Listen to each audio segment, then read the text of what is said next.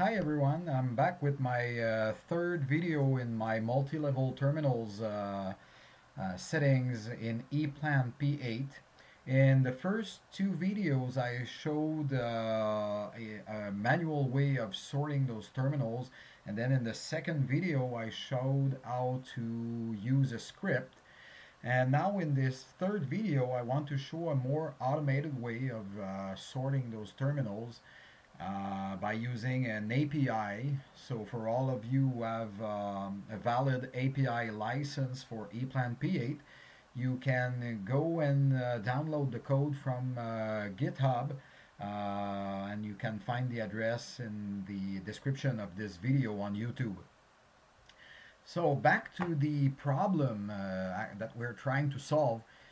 when you have multi-level terminals in ePlan, they need to be sorted in a, such a way that uh, the levels are consecutive uh, for each terminal. So if you have, uh, in this case, um, like 12 terminals uh, distributed on three levels, uh, that means that uh, I need them to be ordered such that we have level 1, 2, 3 for first terminal, then 1, 2, 3 for second terminal, and so on and so forth.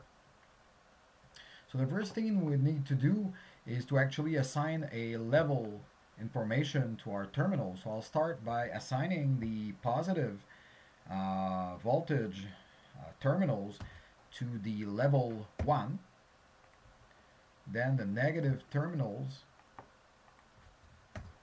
as level 2 and finally the signal coming back from my uh, photo eyes here are going to be on level 3 of those terminals. If I now take a look at my terminal strip in the terminal strip editor I can see that the levels are not properly sorted because I have 1, 2, 1, 2 and I would like to have 1, 2, 3, 1, 2, 3, 1, 2, 3. So in the first two videos I showed how to manually sort those by using either the arrow keys here or using my script. In today's video I'm simply gonna select my strip here in my navigator, bring up the utilities, reorder multi-level terminals uh, menu and this is created by my API. So once you compile the API code using Visual Studio 2010 load the API add-in by coming here in the API add-ins uh, menu. You can see that it's loaded here.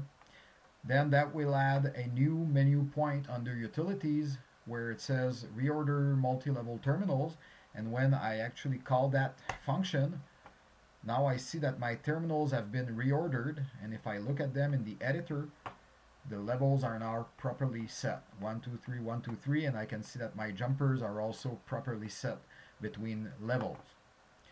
So easy as that. Uh, this shows the power of uh, using the API um, I'm always uh, fascinated by the possibilities that are offered by the ePlan P8 API so if any of you guys have any ideas, suggestions, or wishes for future APIs, uh, please uh, drop me a line and uh, I'll see what I can do for you. So uh, have a nice day everyone and uh, I'll talk to you later.